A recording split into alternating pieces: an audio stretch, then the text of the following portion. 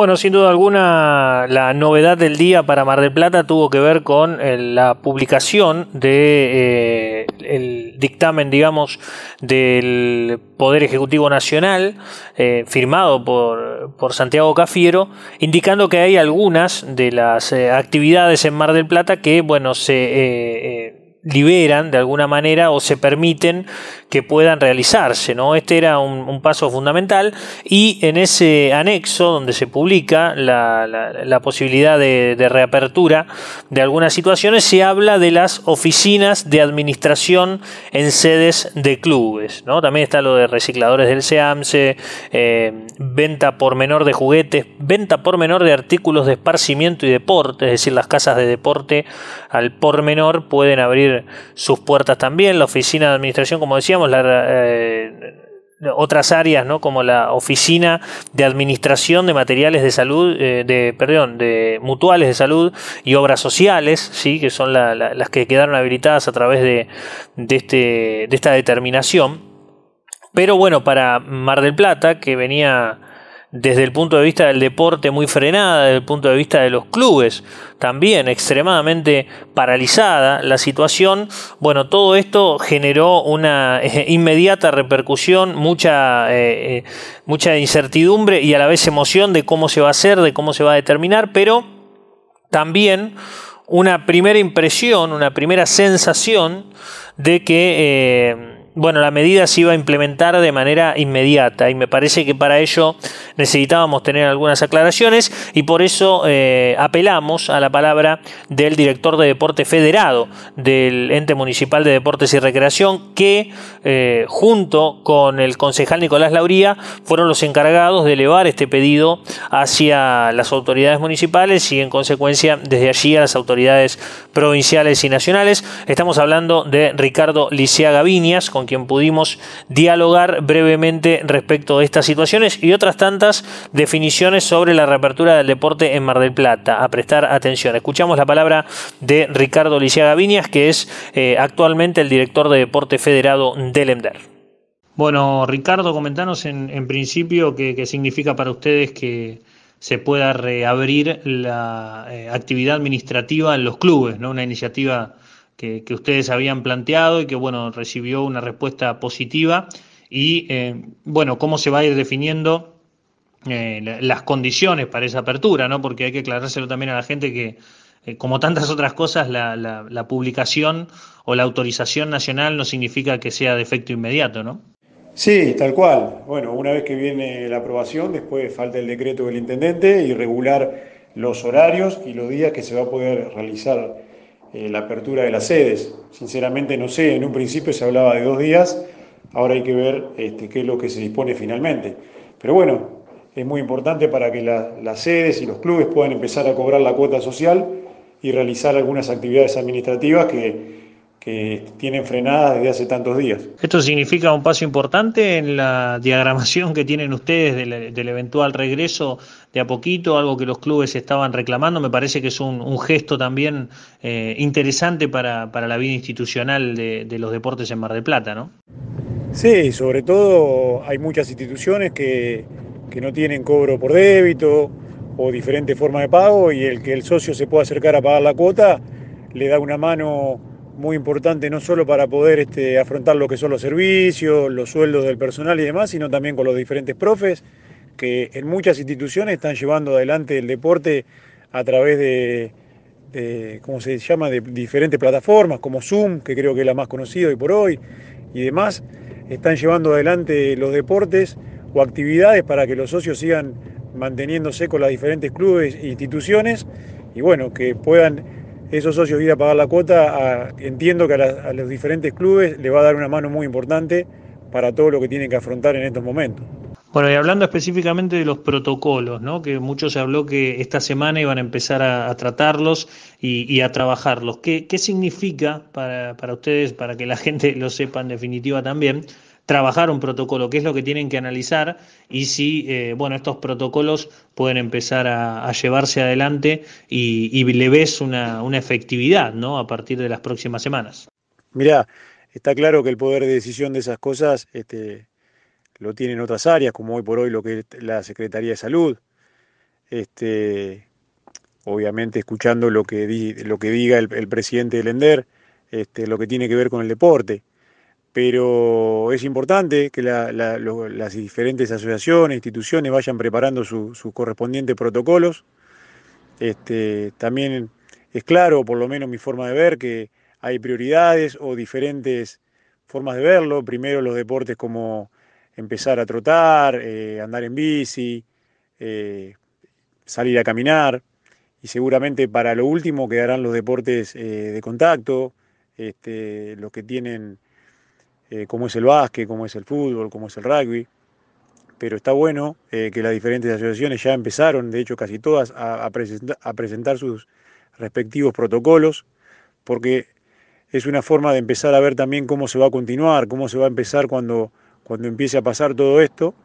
Eh, pero sí, eh, está bien lo que vos decís, que se están empezando a mirar, a evaluar, cosa que hace un tiempo atrás no pasaba, eh, los diferentes protocolos de los, de los diferentes deportes. Bien, y ustedes como, como ente de deportes están diagramando lugares donde empezar a, reavivar esta situación? Digo, está bueno que se pueda volver a caminar, está bueno que se pueda andar en bici, pero ¿dónde? ¿Cómo? ¿Eso también ustedes como, como ente deportivo lo están planificando o es solo una decisión eh, que, más allá de la aprobación pasa también por, por, otros lugares? ¿no? Ustedes son los encargados por ahí de, de decir, bueno, podríamos hacer esto aquí y allá y si tienen algo definido al respecto, ¿no?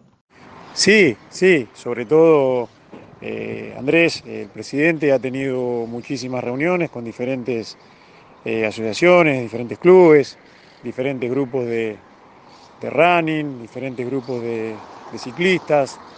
Eh, sí, sí, se está empezando a diagramar todo, a buscarle la vuelta de cómo tendría que ser la vuelta de los deportes y por supuesto teniendo en cuenta horarios, que es algo muy importante, teniendo en cuenta los lugares, teniendo en cuenta las distancias, o sea, de cada cual donde vive, o sea, hay que tener en cuenta muchísimas cosas que por supuesto que se están evaluando y se están teniendo en cuenta para que lo que sea la vuelta eh, sea algo que salga bien y que pueda perdurar en el tiempo.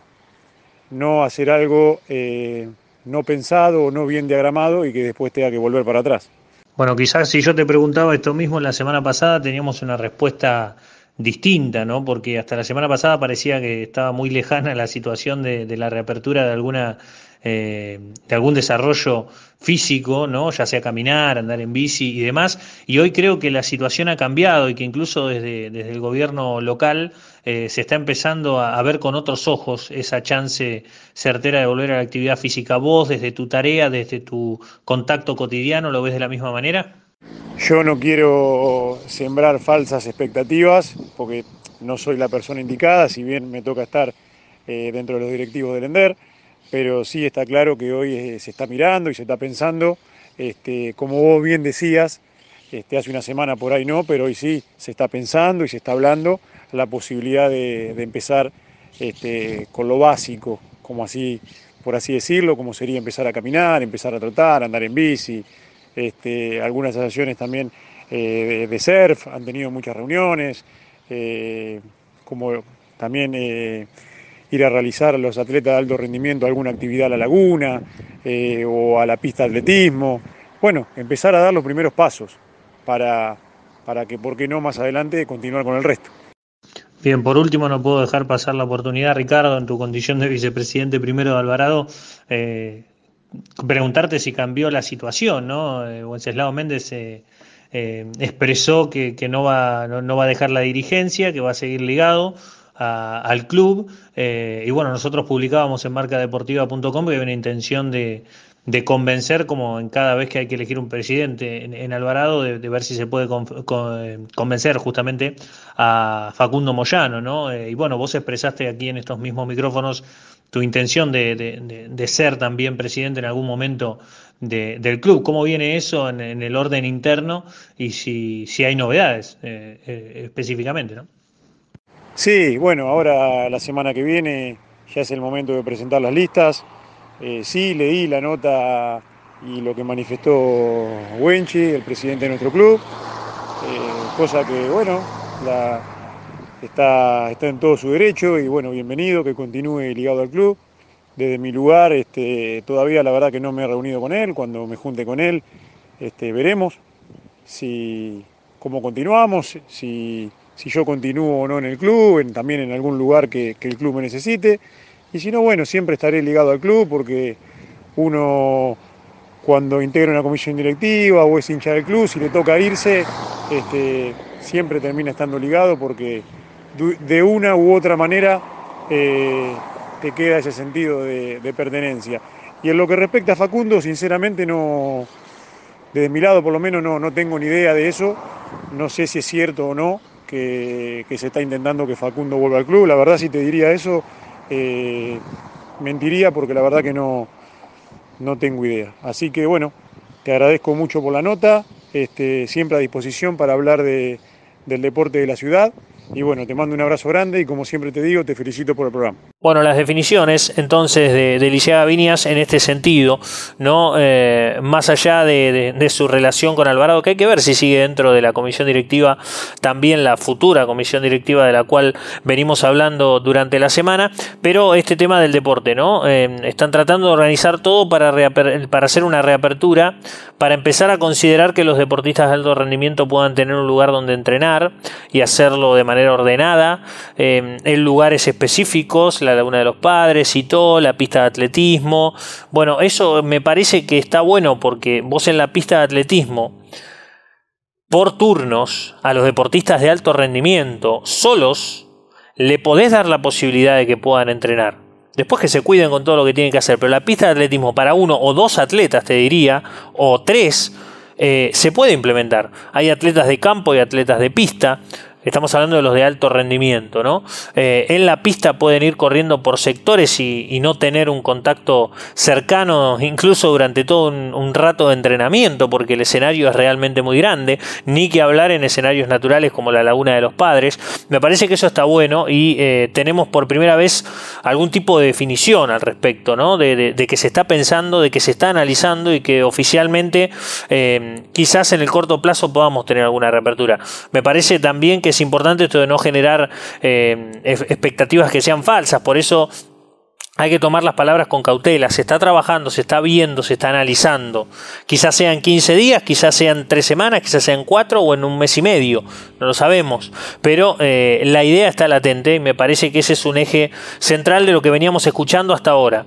Cuando el fin de semana el presidente de la ASA, Freddy Tórtora, decía en 15, entre 15 y 30 días creemos que el surf puede estar eh, exceptuado de, la cuarentena y empezar a practicarse, eh, parecía un poco aventurado, pero evidentemente este tipo de conversaciones son las que generan esa incertidumbre de decir, bueno, quizás si todo va bien, en un par de semanas se pueda volver a la actividad deportiva en Mar del Plata. Y cuando se dice actividad deportiva, es cierta actividad deportiva. Yo cuando le pregunto, no le pregunto porque vuelve a entrenar los Civi. No creo que eso se dé en el corto plazo. Pero sí que alguien pueda salir a caminar, que alguien pueda ir a agarrar una bici y dar una vuelta en bici. Y, que los atletas específicamente, que por eso somos un programa deportivo, eh, puedan empezar a entrenar al aire libre. De alguna manera, en cualquier lugar. Es mejor que en un departamento, es mejor que dentro de una casa para aquellos que no tienen parque. ¿no? Entonces, que puedan hacerlo en cualquier lugar al aire libre, ya va a ser mucho mejor que lo que están haciendo ahora y les permitirá también eh, conservar mejor su físico, que ese es otro dato significativo. Pero bueno, por eso queríamos precisiones oficiales de algunos de los funcionarios del ente municipal de deportes en ese sentido. Nos vamos a la pausa en la 99.9, ya venimos.